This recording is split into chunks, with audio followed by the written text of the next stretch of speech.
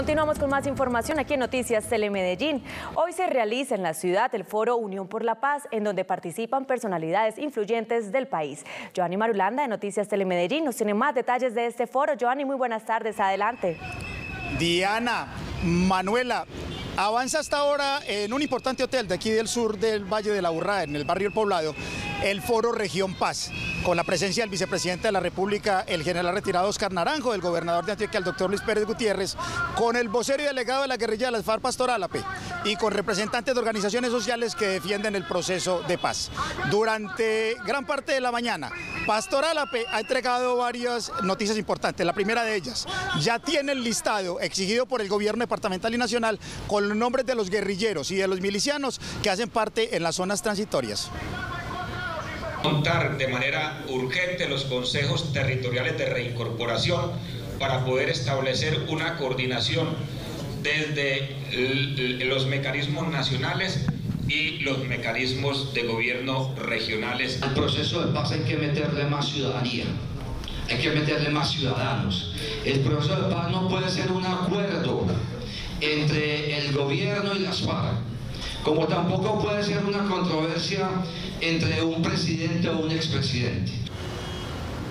Por su parte, el vicepresidente de la República, general retirado Oscar Naranjo, se ha comprometido con tres cosas esenciales aquí durante este foro. El primero de ellos, el Consejo Nacional de Reincorporación hará presencia en Medellín y en Antioquia para garantizar la activación de los consejos locales territoriales de reincorporación que permitan entonces darle las garantías a los guerrilleros que están en zonas transitorias y a la ciudadanía para que conozca con transparencia qué está pasando en estas zonas hasta el primero de agosto. Y ha dicho también que es hora de construir un pacto político nacional para que los enemigos de la paz puedan entender hacia dónde se dirige este proceso.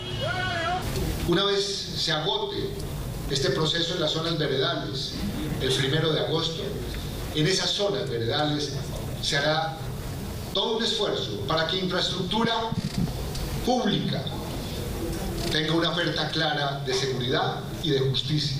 Paralelo al Foro Región, ustedes van a ver un grupo de ciudadanos se vino para venir al poblado a realizar lo que ellos denominaron una pitatón y han estado entonces en manera organizada cada vez que el tráfico les permite realizar esta pitatón. Mi señor, estoy en directo para Noticias Telemedellín. ¿Cuál es su nombre? Buenas tardes.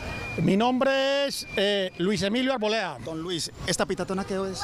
Eh, mire, se debe a que está hospedado ahí en el Hotel Dan Carton uno de los peores reclutadores y violadores de niños, Pastor Álape, al lado de Ernesto Samper, al lado de León Valencia y al lado del general Naranjo. Nos parece indigno que se preste un hotel de la ciudad de Medellín para venir aquí a conversar cosas que puede ser para acabar de atropellar el departamento. Muchas gracias. Mire, pues mire, ellos tienen derecho a la libre protesta. El hotel ha dicho desde muy temprano que nada tiene que ver con este foro, que simplemente ha facilitado un espacio y alquilado para muchos de los foros que se realizan aquí. Mientras tanto, el foro termina con conclusiones cerca de las 2 de la tarde. Diana, Manuela, información desde el sur de la ciudad de Medellín, porque Noticias Telemedellín, 20 años con vos.